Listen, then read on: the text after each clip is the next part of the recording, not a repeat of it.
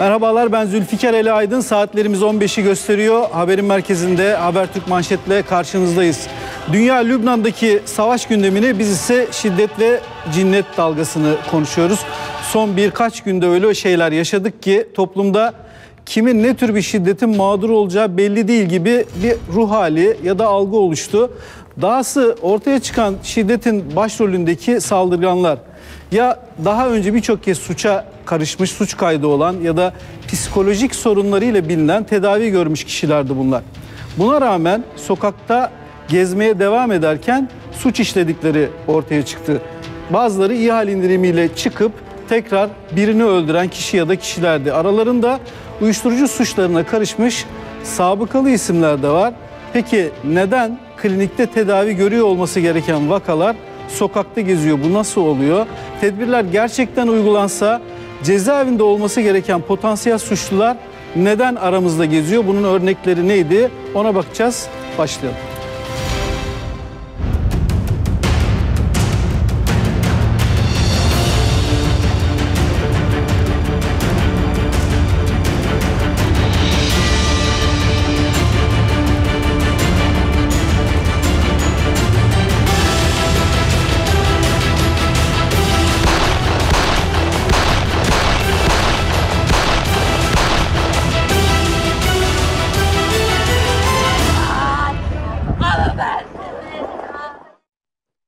Bir bölümünün teaser'da birazdan da izleyeceğiniz e, görüntülerle devamı var. Mobil devreye gezen bir polis İstiklal Caddesi'nde muhtemeldir ki yorulup bir direğe yaslandığı sırada telefonuna bakıyor. Arkasından yaklaşan saldırgan tarafından boynunu hemen arka kısmından bıçaklanıyor. Sonra kaçıyor kişi, şüpheli kişi. Şüpheli bir uyuşturucu bağımlısı. Bu bir örnek. Bingöl'de mesela birkaç ay önce sözde cinnet getirip dört kişiyi öldüren şüpheli aynı zamanda madde bağımlısıydı. Her ikisi de psikolojik tedavi görmüştü. Üstelik ikisi de hastanede ailesinin te- tedavi talebiyle hastaneye yatırılmıştı ama bir süre sonra hastaneden çıkmışlar. Biri çıkıp polisi bıçakladı, diğeri 4 kişiyi katletti, 12 kişiyi yaraladı. Sadece bunlar değil, başka örnekler de var. Konuklarımız da hazır, hemen başlayalım. Ee, Bakırköy Ruh Sağlığı ve Sinir Hastalıkları Hastanesi Başhekimi Doçent Doktor Mustafa Nuray Namlı ve e, Profesör Doktor Gökhan Oral adli tıp konusunda e, e, çalışan önemli isimlerden birisi. Bir de Ankara'da bir konuğumuz var. E, uyuşturucu meselesi de bu meselenin önemli bir kısmını işgal ettiği için e, en azından somut ve tartışılan örneklerde işgal ettiği için uyuşturucu konusunda uzman bir isim. Birleşmiş Milletler'de uzun süre bu konuda çalışmış Hakan Demirbüken. Hepiniz hoş geldiniz. Çok teşekkür ediyorum geldiğiniz için. Hemen başlayalım. Çünkü e, olaylar var. Çok sayıda e, gündeme gelen olay var. E, polise saldırının dışında normal sokakta yürüyen vatandaşlara ve yine polise ülkenin birçok yerinde son bir haftada yapılan saldırılar var ve profiller hep aynı. İstanbul'daki vakayla başlayalım. Çünkü e, hemen fotoğrafta sağda görüyorsunuz. E, direğe yaslanmış İstiklal Caddesi'nin sonundaki tünel diye bildiğimiz yer. E, saldırı orada yaşandı. Polis caddede dururken saldırgan arkasından yaklaşıyor. Boynuna bıçağı saplıyor e, ve hemen kaçıyor. E, polisin neyse ki hayati tehlikesi yok. Saldırgan yakalandı ve tutuklandı. Ama buradaki mesele şu. E, uyuşturucu madde ve huzur ve sükunu bozmaktan bu kişinin suç kaydı var. Ama bir şey daha var. E, Olgun isimli şüphelinin e, daha önce hastaneye annesi tarafından iki kez taleple yatırılmış ama çıkmış. Şimdi e, özellikle hani sizin bulunduğunuz alanla ilgili olduğu için sizinle başlayalım istiyorum. E, Birçok örnekte de bunu tartıştık. Bingöl'de de aynı konu gündeme geldi. Bu kişiler nasıl hastaneye geliyor? Neden, nasıl serbest kalıyor? Bu kişiler e, kendi istekleriyle veya ailelerin istekleriyle veya Ya da mahkeme veya mad- e, kolluk veya mahkemelerin müracaatıyla bize yönlendirmesiyle geliyorlar. Belli tedavi programlarımız var. O tedavi programına uygulandıktan sonra e, bir salah haline ulaşan kişi e, sosyal şifa ile taburcu ediliyor. Zaten kişilerin ömür boyu hastanede kalması diye bir durum söz konusu değil. Değil. E, belli bir iyilik haline geldikten sonra biz hastayı taburcu edip e, kontroller, poliklinik muayenelerini, kontrolleri istiyoruz. Ama bazı ar- vatandaşlar bu kontrollerine gelmekte veya bazıları gelmemekte. E, madde kullanımı da Orada tamamen... denetimi kim yapıyor peki? Yani bir tedbiri uygulayacak gelmesini ya da e, gelmemesini sağlayacak olan şey nedir? Ee, Burada rahatsızlığın boyutuyla alakalı. Eğer psikotik bir rahatsızlıksa bizim toplum ruh sağlığı merkezlerimiz var. Bizden Evet. taburcu olan kişileri o toplum ruh sağlığı merkezlerine yönlendiriyoruz. Bu toplum ruh sağlığı merkezlerindeki arkadaşlar kişiyi e, adresinden çağırıp e, muayenesini sağlıyorlar veya kontrolünü sağlıyorlar. Tabi burada sosyal ortama veya aileye büyük yük düşüyor. Eğer aile hastasıyla veya kişiyle ilgili ise e, kontrole tekrar getirip götürebiliyor hastasını. Evet. Şimdi bu vakada çok enteresan bir şey var. Bu kişinin annesinin söylediği hemen görüntülerini de burada görelim. Tam denk geldi arkadaşlar. E, görüntüyü durdurdular tam saldırı anında. Annesinin meslektaşlarımıza yaptığı bir açıklama var. Ekol TV'ye yaptığı bir açıklama. Biz bu kişiyi iki kez yani oğlumu iki kez tedavi için doktorlara gönderdik. İkisinde de e, bıraktılar, tedavi etmediler diye. Çünkü toplum için tehlikeli olduğunu düşünüyordum. Tedaviye sevk ettik ama e, bıraktılar diyor. Hangi şartlarda bırakılıyor bu kişi, bu tür e, kişiler? Çünkü uyuşturucu bağımlılığı da var. Tabii şimdi bütün e, suçluları veya suçu psikiyatrik rahatsızlıklarla ilintilendirmek çok yanlış olur. E, yapılan çalışmalarda e, sağlıklı bireylerle psikiyatrik tedavi gören veya görmeyenler arasında suç oranında farklı bir bir farklılık çıkmamış ortaya. Ama madde kullanımı veya uyuşturucu madde kullanımı tamamen kişinin kendi iradesiyle oluşan bir şey. Burada kişinin e, bir ceza ehliyetinin ortadan kalkması veya bir ağır bir akıl hastalığı söz konusu değil. Bu kendi iradesiyle vatandaş bir madde kullanıyor veya kullanmıyor. Bize kendisi e, ve madde tedavisiyle. Yani uyuşturucu kısmı tabii ki sizinle ilgili değil ama ee, tabii akıl hastalığının boyutu nedir? Gerçekten psikotik bir rahatsızlık mıdır? Değil midir? Bunu biz ancak muayenesini yaparak ayırt edebiliriz. Madde kullanımı kişinin kendi özgür iradesiyle olan bir durum ve tedavide de madde kullanım tedavisinde asıl olan şey kişinin kendi iradesi. Kendi iradesi el vermedikçe veya kendisi tedaviye yaklaşmadıkça madde tedavisi e, çok yüz güldürücü olmamakta. Kendinin uyumu, sosyal desteği burada bir anahtar rol oynamakta. Yani burada ailesine mi rol düşüyor hocam? Çünkü e, yani olayın kamuya yansıyan kısmı bir kişinin kendi iradesiyle uyuşturucu kullan- kullanmasından ziyade bir polisin bıçaklanması ya da sokakta herhangi birinin öldürülmesine kadar gittiği için tekraren soruyorum. Burada herkese e, görev düşüyor. Hekime de rol düşüyor. e, Polise de rol düşüyor. En önemli şey kişiye ve ailesine de büyük rol düşüyor. Peki bu vakanın size geldiğine dair bir tespitiniz oldu mu? Bize bir kimlik bilgileri şimdiye kadar ulaştırılmadı. Yalnız bazen şu oluyor. e, Birçok suçta hemen e, sosyal medya ve basın yoluyla şu gitmiştir, tedavi olmuştur diye e, hastaneler basınç altında bırakılmakta. Biz kontrol ettiğimizde birçok vatandaşın e, REM müracaatın olmadığını gördük. Son yaşanan olaylarda da hatta bir vakada bizim hastanemizde 5-6 kez yatırarak tedavi gördüğü, sonra serbest taburcu edildiği şeklinde bir yayınlar oldu. Evet. Kontrol ettiğimizde bizde e, bir yatışın olmadığını gördük. Hatta buna müteakip e, bizim hastanemizin acilini basıp e, tedavi ekibini tehdit eden insanlar çıktı. Evet böyle bir şey de yaşadınız Evet, yakın maalesef. zamanda. Maalesef böyle Şimdi bir sıkıntı da bir, yaşadık. bir Bakırköy vakamız var. Ben sonra Gökhan Hocama da sormak istiyorum. Bakırköy'dekileri de bir hazırlayıp verebilirsek arkadaşlar. Oradaki olay da direkt e, geçen hafta yanlış hatırlamıyorsam hastanenin bahçesinde yaşanmış bir olaydı bu.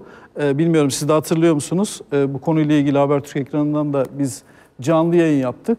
Erhan Önal diye bir isim. Gene ilk profile benzer birisi. Erhan Önal 22 uyuşturucu kaydı var. Bu hemen bahçede yaşanmış bir olay. Bilginiz dahilindedir diye biliyorum. Evet. Ee, Berivan Önal'la evli. 18 ve 19 yaşlarında iki tane de çocukları var. Muayene için hastaneye gidiyorlar. Çünkü Berivan Önal'ın da bir psikiyatrik bir problemi var. Nörolojik bir problem. P- Düzeltiyorum evet. Nörolojik bir problemi var. Bahçede aralarında tartışma başlıyor. Erhan Önal, Berivan Önal'ı vuruyor ardından e, kendi yaşamına da son veriyor. E, şöyle bir bilgi var. Doğru e, ise doğru, yanlışsa yanlış olduğunu düzeltirsiniz hocam. 2017 ile 2021 yılları arasında Erhan Önal'ın tedavi gördüğüne dair bir bilgi var ama tedavisini yarım bırakmış. Özellikle nasıl yarım kalıyor, neden yarım kalıyor? Bu kişiler toplum için suç ve tehdit oluşturduğu halde nasıl sokakta gezebiliyor? Soru bu olduğu için tekrar size veriyorum pası. Ee, İlgide olayda adı geçen kişinin bize 2021 tarihinden sonra hiçbir müracaatı yok. ve ta- tedavisini tamamlayarak hastaneden ayrılmış bir kişi. Yaklaşık o 4 yıllık süreçte kontrollere gelmiş, kan tahlilleri alınmış, idrar tahlilleri alınmış ve en sonunda yapılan kan ve idrar tahlillerinde hepsi de temiz çıkmış ve belli bir sosyal iyilik haline, bir salah haline ulaşmış. Yani ilgilenin 2021 yılından itibaren e, bize bir müracaatı söz konusu değil. Kişinin eşinin e, nöroloji kliniğine bize müracaat var. Bir MS şüphesi var. Ağustos ayında da Evet, hatta yatırılarak tedavisi yapılmış. E, ve o günde e, ilgilenin e, vefat eden hanımın bize e, kontrol muayenesi var. Beraber kontrol muayenesine gelirken hastanenin e, bir kenar ağaçlık alanın altında bir e, olay oldu. Biz de intikal etti. Biz de olaya gittik, gördük. Ama dediğim gibi e, suç işleyen veya cinayet işleyen ve kendi bir- canına kasteden kişinin 2021 yılından beri bize hiçbir müracaat söz konusu değil. Evet. Ee, ben hocam iki profile baktınız. Ee, sonuçlarını gördük tabii hangi kamu kurumuna, hangi yönüyle sorumluluk düşüyorsa sadece hastane yönüyle olması mümkün değil. Ee, bütün yönleriyle konuyu irdelemek açısından da konuşuyoruz. Ee, çünkü sadece bir hastanenin alacağı bir tedbirle olacak bir şey de değil bu. Ee, siz baktığınızda bu iki profil, ikisi de e, psikiyatrik geçmişi var, bir klinik geçmişi var. Sonrasında da bunlar olmuş. Ne görüyorsunuz? Ee, birkaç madde var. Bir kere Sayın Başhekimim Doktor Mustafa Bey'in söylediklerine katılıyorum çoğunlukla. Ee, şöyle bir şey var genel olarak toplumda. Ee, bazı rahatsızlık verici davranışları medikalize etmek, tıbbileştirmek işimize geliyor. Evet. Yani hani şiddet ve suç davranışına hepsine, her türüne bir psikiyatrik, nörolojik fark etmez bir rahatsızlık ismi koyabilsek oh çok şık olacak, çok rahatlık olacak. Ona göre takip et tedavisini düzenleyeceğiz vesaire vesaire. Hayır böyle bir şey yok yani. Ee, af buyurunuz rahmetli Kırtın Hoca söylerdi. Başhekimde Kırton de Kırtın Dinçmen. Hayır. Pardon, Dinçmen. Kriton e, Dinçmen. Evet, şurada vardı. Yani herkese akıl hastası diye bakmayın. Bazıları edepsizdir derdi. Bazıları bilmem nedir derdi. Ee, hakikaten de yani kalkıp da illa bir teşhis koyacaksanız koyarsınız da bunu bir akıl hastalığı seviyesinde olmaz. Çok haklı.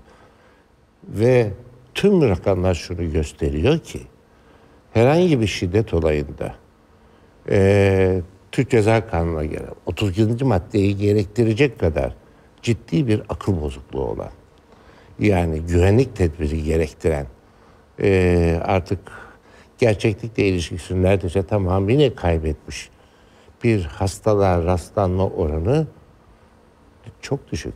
Düşük Türkiye'de. Dolayısıyla ortalama toplumla kıyasladığınız zaman tam da hocamın da dediği gibi eşit. En kötümser tahmin eşit diyor yani. Daha iyi misali. Sosyal faktörler çok çok daha önemli. Bu bir. İkincisi tamam işin içinde psikiyatrik bir tablo var. İşte madde kullanımı var. Belki artı bir rahatsızlığı var. Kullanıma bağlı ya da başka bir şey Karakola şikayet var, başka yerlere şikayet E, var. e, her e, zarar verici davranışın arkasında bir psikiyatrik teşhis koyabilirsiniz de bu söylediğim türden bir akıl hastalığı yoktur hepsinde. Tabii. E, çok ciddi kişilik bozuklukları, bazı karakter yapıları vesaire çok daha fazla ilgilidir suç ve şiddetle. Buna bir de madde kullanımı eklenince 3'e 4'e katlanır risk.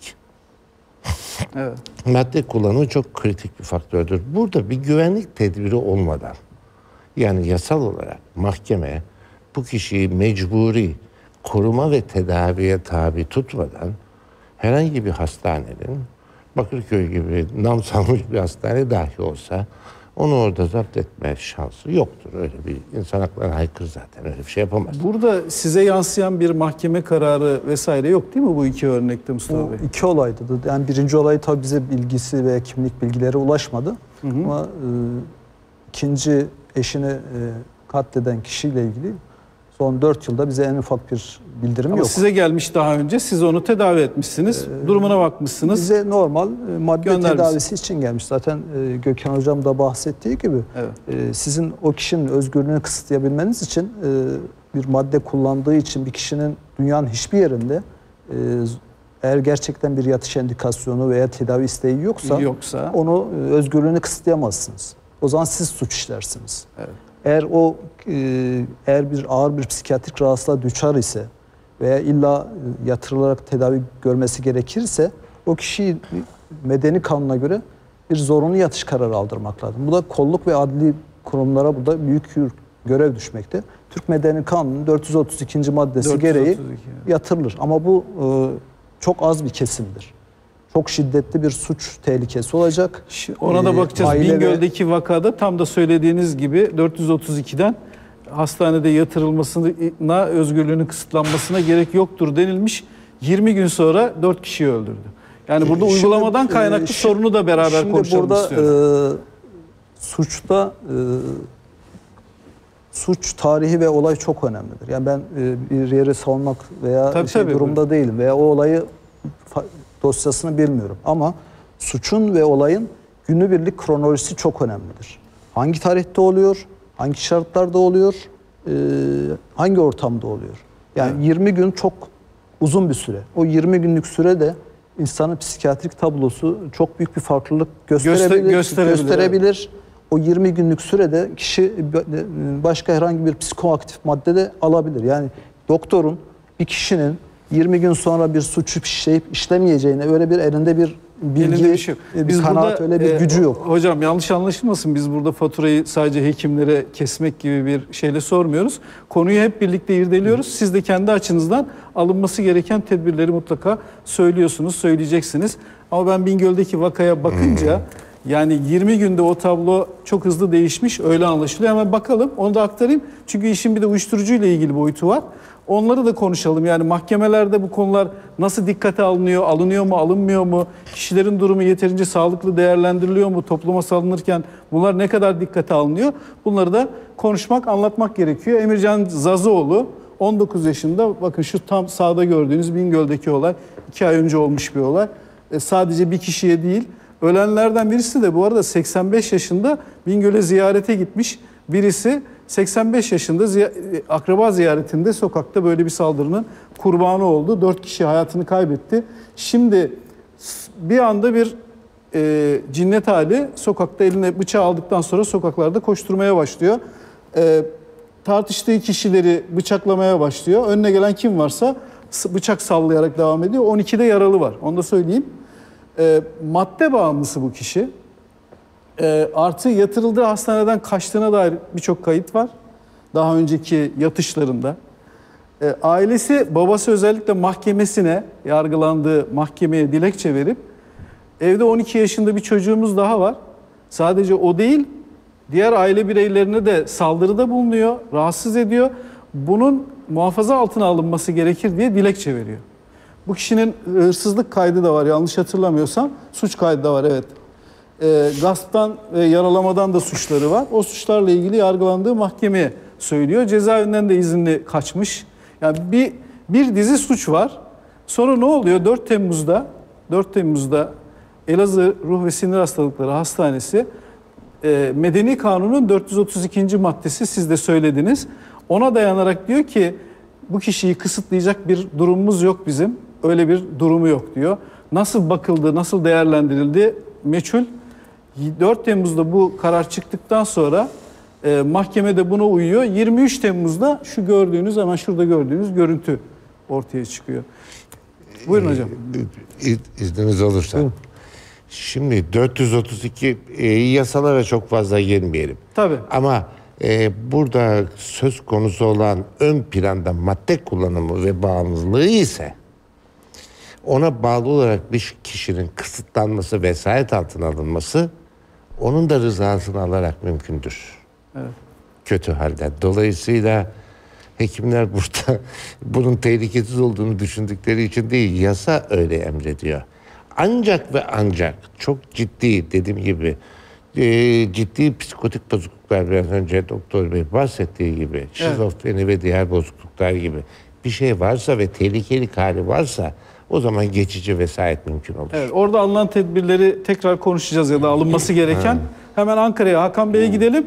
Çünkü o uyuşturucu konusunda, uyuşturucu maddenin Türkiye'de yaygınlaşması konusunda hem rakamlara hem bilgilere sahip bir isim. Uzun yıllar Birleşmiş Milletler'de de e, bu tip raporların altına imza attı.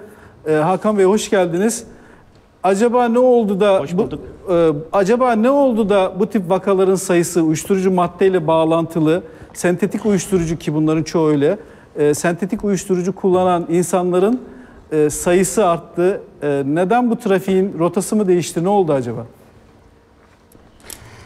Ee, Evet, maalesef ülkemizde uyuşturucu kullanımı arttı, artmakta. Ee, ilerideki dönemde de artacağı düşünülüyor eğer e, gerekli önlemler alınmazsa. Şimdi neden arttı diyoruz?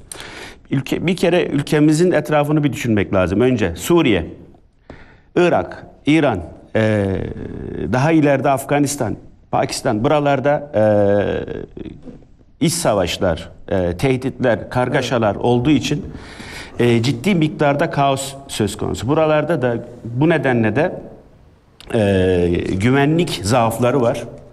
E, o ülkelerin ilgili kolluk güçlerinin e, yeterince o e, ülke içerisindeki uyuşturucu trafiğine ve uyuşturucu üretimine yetkin olamaması söz konusu. Dolayısıyla biz de bunlardan etkileniyoruz. Ülkemize ciddi miktarda da e, göçmen akımı var. Göçmen akımını kötüdür demiyorum ben ama eğer istatistiklere bakarsak, dünya genelinde istatistiklere bakarsak göçmenler çoğaldığı anda oralarda da uyuşturucu tehdidi artar. Olur demiyorum, tehdidi artar. Bakınız Tehdit Pakistan, artıyor. bakınız İran çok ciddi derecede e, göçmen say geldiği için Afganistan'daki iç savaştan dolayı oralarda kontrol altından çıkmıştır uyuşturucu kullanımı. Şu anda da çok ciddi uyuşturucu kullanımı vardır. Mesela İran bu konuda oldukça e, problem yaşamaktadır. Aynı şekilde Pakistan. Şimdi bizde de uyuşturucunun rotası değişti. Bize eskiden Nasıl değişti amfetaminler, met e, Avrupa'dan geldirdi. Genelde üretim Hollanda'da olurdu. Captagon, Ecstasy. Fakat şimdi bize üretim üretim kaydı ve Suriye'ye geldi. Niye? Orada çünkü bir kaos var, bir kaos ortamı var, bir savaş ortamı var. Uyuşturucu tacirleri ve e, e, aynı zamanda teröristler için çok ideal bir durum. Suriye şu anda bir cennet onlar için. Aynı zamanda Afganistan. Afganistan'da şu anda bir suç cenneti. Ne kadar suç örgütü bulabi- arıyorsanız dünyada hepsi orada var şu anda. Ve orada efedrin maddesi var. Efedrin de met kullanım e, üretimindeki ana maddelerden bir tanesi. Şu anda e, met, e, amfetamin yani ekstazi, kaptagon gibi e, sentetik uyuşturucular bize artık bu rotadan geliyor. Evet. Şu Şimdi anda şöyle bir tespit var. Böyle üretimi var mı yok mu buna gelirsek Buyurun. buna gelirse bu çok önemli bir şey değil aslında. Buraya gelmesi önemli. Bize gelen miktarlarda artışlar oluyor. Fakat biz, bizde şöyle bir durum var. Biz kaç tane gencimizin, kaç insanımızın uyuşturucu kullandığını bilmiyoruz şu anda. neden? Çok uzun yıllardır bu konuda bir araştırma yapılmadı. Anket yapılmadı. Ee, biz 2018 rakamlarını biliyoruz. Mesela Türkiye Cumhuriyeti'nin devlet olarak Birleşmiş Milletler'e verdiği raporlara göre Türkiye'de sadece 1.8 milyon uyuşturucu kullanıcısı var. Bunların da sadece 27 bin tanesi met kullanıyor. Ki bu rakam oldukça düşük. Düşük, yani evet. 40, 40 binler civarında metten dolayı kaçakçı yakalıyorsunuz. Ama 27 bin uyuş met kullanıcısı var. Bu rakamlar tabii ki gerçek rakamların altında. Ee, bir buçuk milyon esrar kullanıcısı var diyor bu rapora göre. Fakat e, e, son yıllarda bir çalışma yapılmadı. 2015 yılında üniversitelerde bir çalışma yapıldı. Ee, uyuşturucu kullanımı üzerine. Fakat Aile Bakanlığı tarafından yapıldı. Fakat bu çalışmanın sonucu yayınlanmadı. Daha sonra yine e, liselerde bir çalışma yapıldı. Bu çalışmanın da sonuçları yayınlanmadı. Fakat son zamanlarda aldığım bilgilere göre Türkiye ülkemizde İçişleri Bakanlığı'nın e, desteği ve himayeleriyle bir uyuşturucu anketi çalışması, araştırması yapılacağını duydum. İnşallah bu çalışma yapılır. Biz de gerçek miktarları öğreniriz. Çünkü sorunu sorunu ortaya koymadan, rakamları ortaya koymadan çözümü bulmak da imkansız. Evet. Şu anda sizin giden e, uyuşturucu bağımlılarının Hakan Bey beni duymuyor galiba arkadaşlar. Kulaklığı geri çıkmış geri olabilir. Bir e, Hakan Bey beni duyuyor musunuz? Kulaklığınız çıkmış Şimdi görünüyor. duyuyorum sanırım. Evet. Şimdi, Evet, şimdi duydum. Kusura bakmayın. Estağfurullah. Şöyle benim söyle met ve metamfetaminin üretimi siz Suriye, Afganistan dediniz ama Türkiye'de yaygınlaştığına ve üretildiğine dair tespitler var. Biz bunu polis raporlarında ya da e, bize ulaşan bilgilerle biliyoruz. Siz ne kadarına vakıfsınız? Acaba Türkiye'de üretiliyor mu bu e, asayiş meselesine bu kadar yansıması bundan mı kaynaklanıyor? Türkiye'de üretiliyor. Yani üretilmesi zaten çok büyük bir problem değil. Değil, Çünkü evet. çok basit zaten bunları üretmek. Yani çok basit. Size e, metamfetaminin e, met üretimindeki işte efedrin maddesi, kimyasallar, burada isimlerini söylemeyeyim. Onlar geldiği anda Türkiye'de de bunlar bulunuyor. Hemen küçücük bir yerde üretirsiniz. E, efedrine ulaşamıyorsanız pseudoefedrin var. Bazı ilaçlardan eczanelerde satılıyor bu. Reçetesiz satılıyor. Reçetesiz Onlardan da satılıyor. kendiniz çıkartıp üretirsiniz yani. Bu buna bunu üretmek çok kolay. Fakat Peki- bunun önleme tarafı çok zor. Evet. E peki bu konuştuğumuz Evet, iki profile de baktığınızda, profile baktığınızda bunlar madde bağımlısı olması e, şöyle yorumlanabilir mi? İleri bir yorum mu olur? Ya bizde üretimi arttı, dağıtımı da arttı. Ona bağlı olarak bu suçlar da arttı. Teorik olarak doğru mudur sizin baktığınız yerden? Teorik olarak doğrudur. Uyuşturucuya bulaşan bir insan suça illaki gidecektir. Çünkü eğer bu kişilerin profillerine bakarsanız büyük ihtimalle işsizdir, parası yoktur. Evet. Ee, en küçük bir uyuşturucuya günlük olarak ulaşmak istediğinizde şu anda cebinizden çıkacak para en kötü uyuşturucu 200 e, 200 lirayla 600 lira arasında bir para harcarsınız en Bu ka- kötüsüne. Bu, yani bu En kadar kolay erişim erişimi bu kadar kolay. Uğraşım da çok kolay. Ben Ankara'da yaşıyorum. Şu anda size nerede satıldığını akşamları göstereyim. Ya da İstanbul'a geldiğimde de teker teker göstereyim. Bir Yok, kişinin göstermeyelim bu de. uyuşturucu bağımlılarının evet 20 bin lira 20 bin lira civarında bir para harcaması lazım ki kendisini tatmin etsin. Eğer o uyuşturucuya ulaşamazsa o uyuşturucuya ulaşamazsa çok saldırgan olur. Hocalarım da bilirler. Çok saldırgan olurlar. Aşırı saldırgan olurlar. Ve o bıçağı çektiği anda önünde kim var olduğunu bilmiyor aslında. Bir hayale saplıyor o bıçağı. Buradaki Yani bir- bu buradaki bir- bir şeye profillerde de- saplıyor. evet bu Hakan Bey buradaki olaylarda da tam da söylediğiniz şey var aslında uyuşturucu madde etkisinde hareket eden bir kişi Evet. en azından profili görünüyor. Ee, MHP lideri Devlet Bahçeli'nin de bir sözü var. Ona geleceğiz ama bu Bingöl'deki olayın mağdurlarının e, ya da ölenlerin yakınlarının e, anlattıkları şeyler var. Onlar hazırsa hemen onları da verelim arkadaşlar. Evet. Tesadüf halı satarken ensemden geldi bıçağı vurdu. Kaçtı. Ben ilk etapta yumruk vurduğunu zannettim. Hatta bana neden yumruk vuruyorsun? Ben sana ne yaptım? Seni tanımam etmem diye bağırdım. Dükkana giriyor alışveriş yapmaya arkadan bıçak vuruyor. Yani sorgusuz sualsiz. Hiçbir tane yabancı yok. O 11 tane yaralının hepsi birbirinin akrabası. Yani bu kadar başvuru yaptı devlete, Gmail gönderdi. Ne başvurusu? Bu çocuğu götürdüler akıl hastanesine yatırdılar en baş. Bu çocuk akıl hastanesinden kaçıp yalan ayak bin yere kaya geliyor. Yani hiçbir şekilde e, görevliler, bunun yetkililer bunun peşine düşmüyor. Şimdi hemen arkasından bir MHP lideri Bahçeli'nin ne söylediğini de bir verelim. Uyuşturucu yani psikolojik, psikiyatrik problemlerin yanı sıra uyuşturucu bunda ne kadar etken olmuş ona da bir bakalım. Dinleyelim Sayın Bahçeli ne demiş geçen grup toplantısında bu da önemli. Uyuşturucu ve uyarıcı madde kullanım yaşı üzülerek ifade ediyorum ki oldukça düşmüş, okul önlerinde uyuşturucu çeteleri yuvalanmıştır. Hepimiz kafa kafaya verip seri ve sert önlemleri almakla yükümlüyüz. Söz gelimi cezasızlık şikayetleri genişlerse, suçluların tah- tahliyesi sıradanlaşırsa, yapanın yanına yaptıkları kar, kar kalırsa o halde herkes kendi ölçüsüne göre adaleti sağlamak peşine takılacak. Bu defa da devletin temelleri sarsılacaktır. Yani Sayın Bahçeli'nin de dediği gibi konunun birçok yönü var. Ee, okul önlerinden uyuşturucu yaşının kullanımının düşmesine kadar birçok boyutu var. Ee, hekim olarak sizlerin adli psikiyatriyi inceleyen u- uzmanları olarak yani bu vakaları inceleyen uzmanlar olarak ne yapılması lazım? Hemen hızlı hızlı onları da bir konuşalım. Sizin tedbirler kısmı ile ilgili söylüyorum. Çünkü Evet. e, burada da örneği var onu da söyleyeceğim. Evet. Ee, buyurun Ee, hocam. Yani akademik bilgiyle doldurmayalım tabii ki.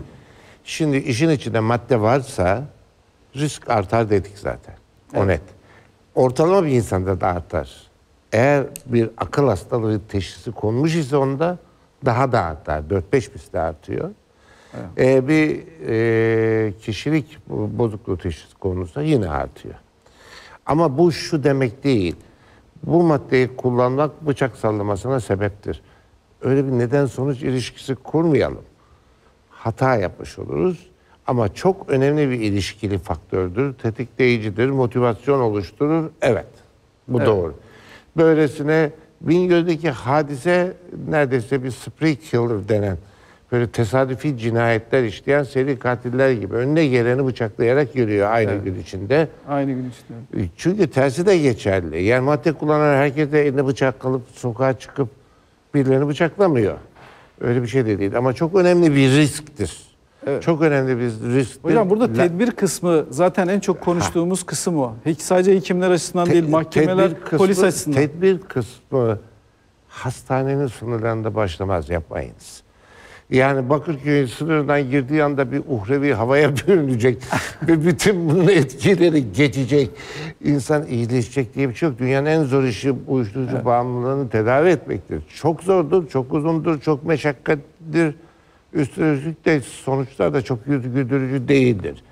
Tedbir Türkiye sınırında başlar efendim. Mahkemelerde Türkiye sınırında başlar. Madde girmeyecek. Biraz önce Hakan Bey'in söylediği şeyi söylüyorsunuz. Madde girmeyecek. Madde yoksa bağımlılık da yok.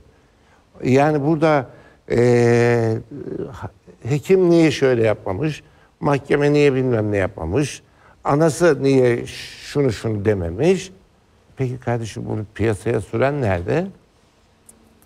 Bundan para kazanan nerede? Sayın Bahçeli. Paranoid Söylediği gibi. şizofren vakaları da var ama bunların içinde biliyorsunuz. Yani ben, Yani şey- bakın ne dedim? şey Madde ben? kullandığı zaman risk artar dedim. buyurun, buyurun Hakan Bey. Evet şimdi e, Gö- Gökhan Bey'e çok katılıyorum. Ee, aslında bir kişi uyuşturucuya bulaştığından sonra onu kurtarmak çok zor. Çok zor. Çok meşakkatli bir iş. Ee,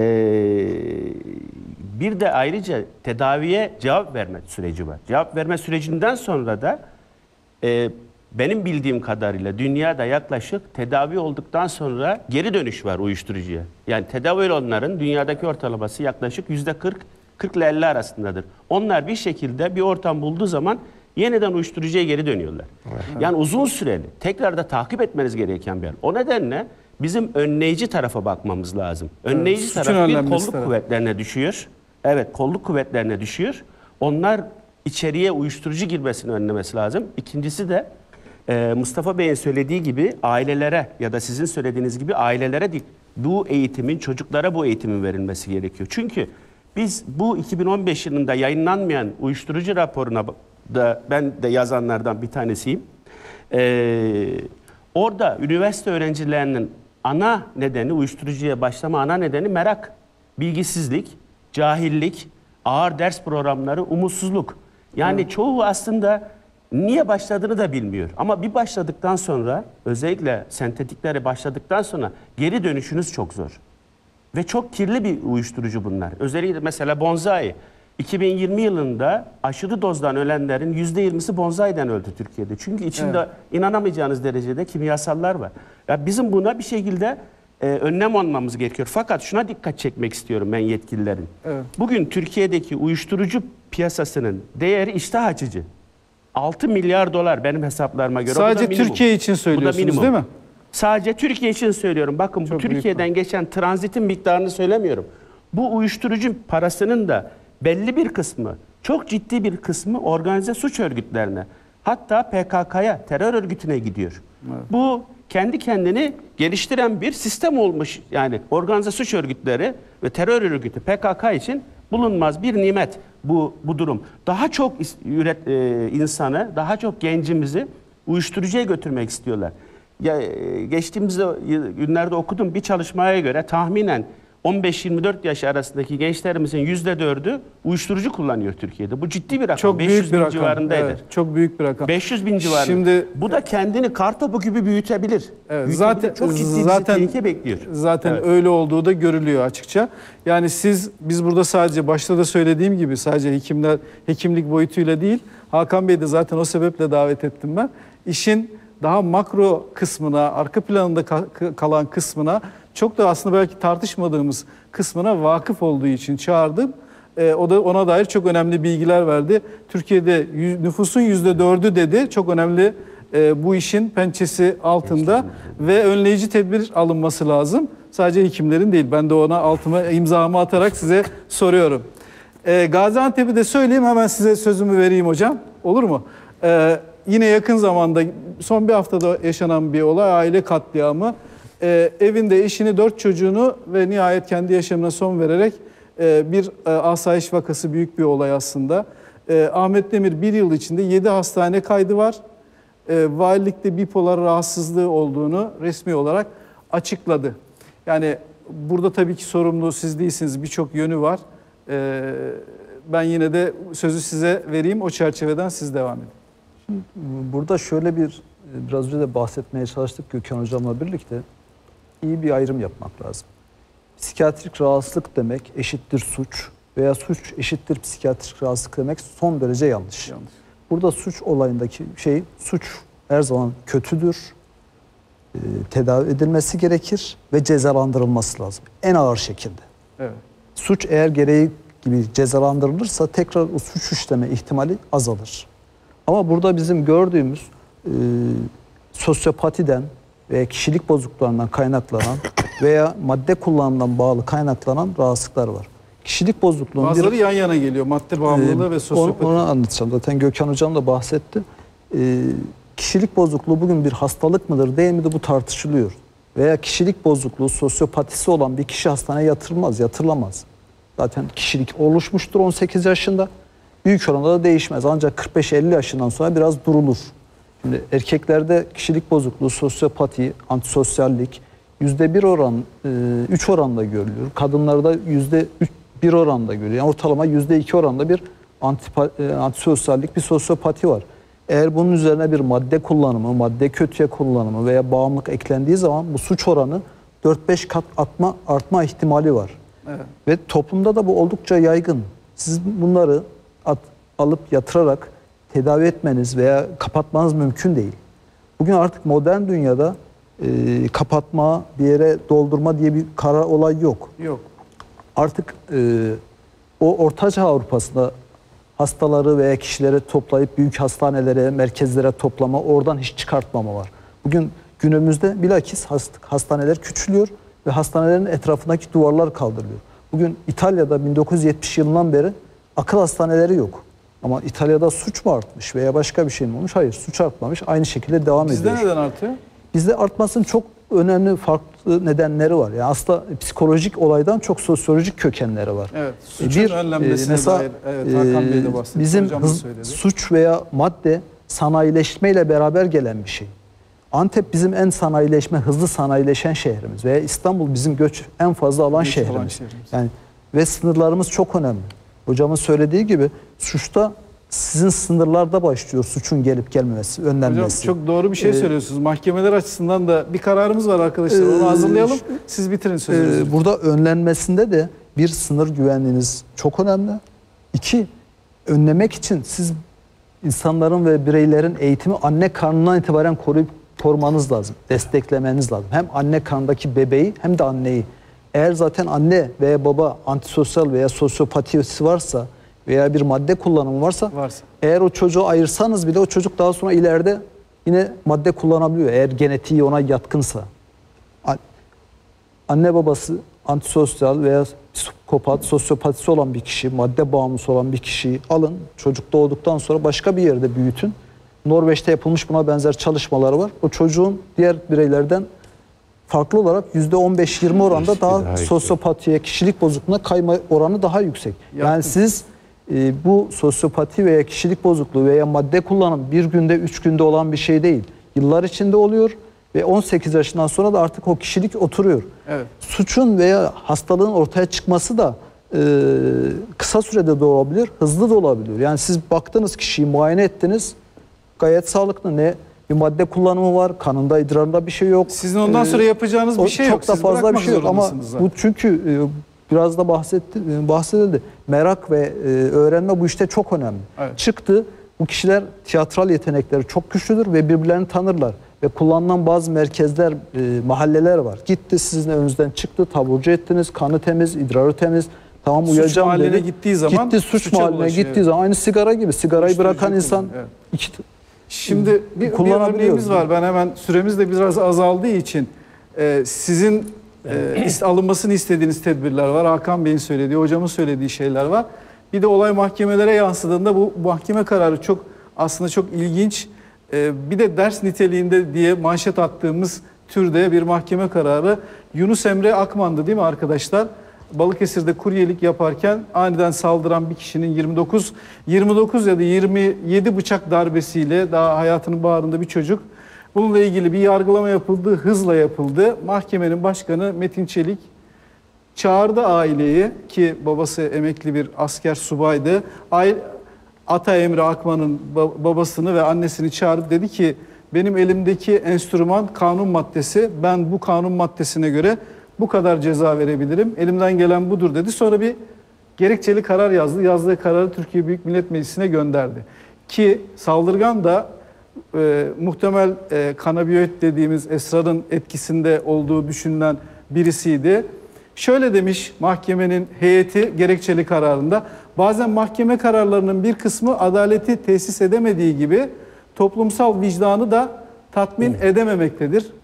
Adalet ulaşılması gereken yegane değerdir. Bu yönden bakıldığında mahkumiyet hükmüne rağmen kendisi de mahkumiyet verdi. Çok kısa süre içinde sürede toplum içine karışmaları vatandaşlık görevini yerine getiren ve sağ ve temiz insanların yaşamını alt üst etmeleri gibi bir netice doğurmaktadır diyor. Bu kişilerin sokağa salınması böyle bir netice doğuruyor diyor. Bu nedenle ceza kanununda yeniden değerlendirme yapılmasında fayda vardır. Ülkemizdeki ceza mahkemelerinde yargılananların çoğu, bu da önemli, suçu meslek edinen kişilerdir diyor. Mesela bu örnekte baktığımızda da bu örneklerin tamamında da aynı şeyi görüyoruz. Görüyoruz. Suç kaydı var, tutuklanmış, cezaevine girmiş, izinli çıkmış, gitmiş birini öldürmüş. Uyuşturucu kullanmış, gitmiş birini öldürmüş. Çoğu suçu meslek edinen kişilerdir demiş mahkeme heyeti. Suçluların kendi dünyasındaki cezasızlık algısı toplumun refahını ve huzurunu hedef almaktadır demiş. Yani gerçekten çok önemli tespit tespit olduğu için sürenizden de alarak e, anlatmak istedim. Son- Sadece hekimlerle ilgili değil. Ben Hakan Bey'e de sözü vermek istiyorum. E, son cümleleri alacağız son, herhalde. Son Bir- bir söz evet. Son Buyurun. Evet, son cümleleri söyleyeyim. Şimdi sınırlarımızı koruyalım dedik. Evet. Tamam, sınırlarımızı koruyalım. Bu çok doğru. Bazı uyuşturucular için çok geçerli bu. Fakat sınırlarımızın içerisinde üretilen esrar var. Bugün Diyarbakır'da, Bingöl'de, Türkiye'deki e, tüketilen esrarın büyük çoğunluğu Diyarbakır'da üretiliyor. Diyarbakır kendi sınırlarımız içerimizde. Bizim Türkiye Cumhuriyeti'nin askerinin, polisinin ki narkotik polisimiz dünyada ilk üçe girer. Benim çalıştığım yıllardan bu yana bildiğim kadarıyla dünyada başarıda ilk üçe girer. Bizim acilen Diyarbakır içerisindeki bu esrar üretimini bitirmemiz gerekiyor. Bu Daha geçen hafta bir, operasyon bir yapıldı. güvenlik sorunudur. orada evet. O güven bakın yanlış bir, bir de orada gidiyorlar Hint kenevirinin kökünü söküyorlar. Kökünü söktüğünüz zaman o orada tekrar gelecek yıl gene yetişir. Çünkü tohumunu aşağıya döküyor. Evet. Arsız bir bitkidir esrar. Hemen çıkar orada. Son bir cümle daha Buyurun, söylüyorum. buyurun. Bugün Ukrayna'ya da dikkat edelim lütfen. Karadeniz sınırlarımızın, Karadeniz illerimizin sınırlarının gümrük kontrollerinin arttırılması gerekiyor. Ukrayna'da savaş bir gün bitecek. Bitmeye aza geldiğinde, yaklaştığında ya da bittiğinde o ülkede de uyuşturucu miktarı, üretimi çok hızlı şekilde artacak. Çünkü güvenliğin olmadığı ve e, silahın silahların çok kolaylıkla e, elden ele geçtiği bir ülkede uyuşturucu üretimi artar. Artar. Çok teşekkürler. Teşekkür ediyorum. Ee, uyuşturucunun bu tip suçlarda yani cinayette, şiddetin, sokaktaki şiddetin artmasındaki etkisini de böylece konuştuk. Sadece klinik vaka kısmı vakaların nasıl tedavi edildiği ile ilgili değil. Buyurun hocam sizi de dinleyelim. Ya bu e, gerekçeyi ben görmemiştim. Onu okudum. Ee, Ve gündem, çok hoşuma gündemin gitti. e, heyulası arasında kayboldu Evet, diyelim. Ben özellikle kalmış. not etmiştim onu. Çok özellikle vermek istedim. E, ki ben bir örnek vermek üzereydim. Mesela bir tane vakayı gösterdiniz. Bilmem kaç tane sabıkası var. Yolda önüne geleni bıçaklıyor. Doğru. Bu nasıl sokaklar serbest dolaşıyor? Artık ne yapacaksınız? Hastaneye mi yatar? Hapishanede mi kalır? Gibi bir çaresizlikle ifade ettiniz. Ama bizim yasalarımıza ve adalet sistemimize göre bu kişi evli olsaydı akıl hastalığı nedeniyle boşayamazdı mahkeme. Yasalar buna uygun değil. Evet siz e, Yasalar buna uygun değil. Evet, Siz Adli. Tıp Kurumu'nda görev yaptığınız Evet. süre içinde benzer bir örnekte yaşamıştık. E, yani bir 25 yılı var ama Çünkü yasa diyor Evet, ki illa da akıl hastalığı olacak. Ya bununla evde kalınır mı? Sonra dönüp belki Buna çocuk öldürecek. emanet edilir mi? Bununla aynı evde yaşanır mı? Bu- Bunun hepsini biliyor ama yasamız öyle diyor. Peki. Akıl hastalığı bu dahi olamazdı. Yeni yargı paketi umarım e, bazı Hem iyi hali hem konularda de bu daha ki, fazla evet, adalet getirir. yani Çünkü Bugün Adalet Bakanı da söyledi. İyi hal ve e, cezaların uygulanma infaz rejimiyle ilgili değişiklikler geliyor. Cumhurbaşkanı açıklayacak. Bir kısa reklama gidiyorum. Hem Ankara'daki konuğumuz Hakan Bey'e e, hem de Mustafa Hocama, Gökhan Hocama teşekkür Bir ediyorum. söz, son E, söz. işte Eğer son söz bir, rek- bir cümle alalım hocam. Buyurun. Yani bu işin tedavisi multidisipliner bir yaklaşım olması lazım. Üç sac ayağı var bu olayın. Bir sağlık boyutu illaki var ama bütün hast- suç işleyenler psikiyatrik rahatsızlıklar değil. Sağlık boyutu var, adli ve kolluk ayağı var. Bizim bugün biraz da bugün çok da konuşmadığımız sosyal boyutu, bir sosyal O- çalışma boyutu var. konuştuk hocam. evet. Ee, çünkü çıktıktan sonra aslında takip etmesi gereken yer sosyal çalışmacılar. Biz sosyal çalışmacılar sahada çok etkin kullanamıyoruz maalesef Hocam Türkiye buna yarın da devam edebiliriz Ee, bu konuya. O yüzden e, sözünüzü kesmiş gibi olmak da istemiyorum. Burada en önemli şeylerden birisi biraz önce konuşuldu öğrenme ve merak. Aslında bazen de bu çok konuşuldukça daha da merak artıyor ve insanlar öğrenir. Bazen de ne kadar çok konuşursanız, ne kadar çok gündemde tutarsanız hem merak artıyor hem diğer üçüncü kişiler bu işi öğreniyor ve bu bulaşıyor. Çok teşekkür ediyorum. Bir reklama gidelim. Sonra yine buradayız.